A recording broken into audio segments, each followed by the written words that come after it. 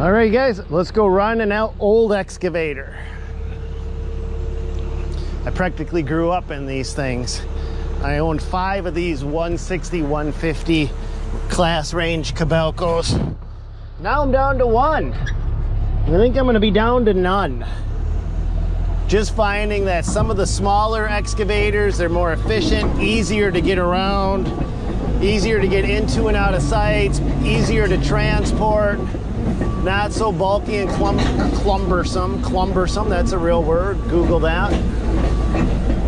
It's in the Polish dictionary as clunky and cumbersome.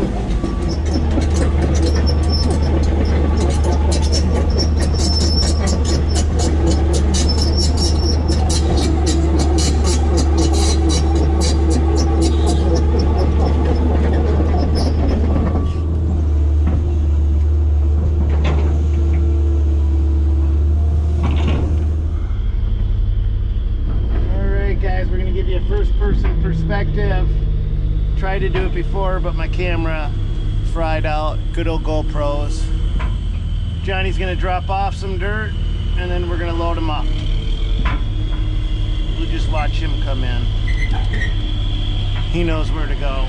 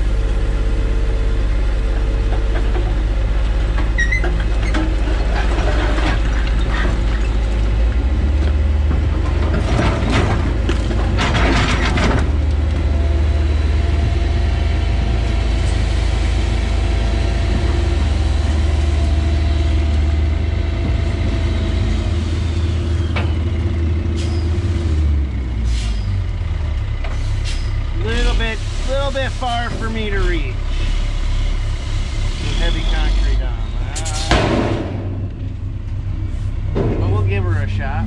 See how she goes. If I had a horn.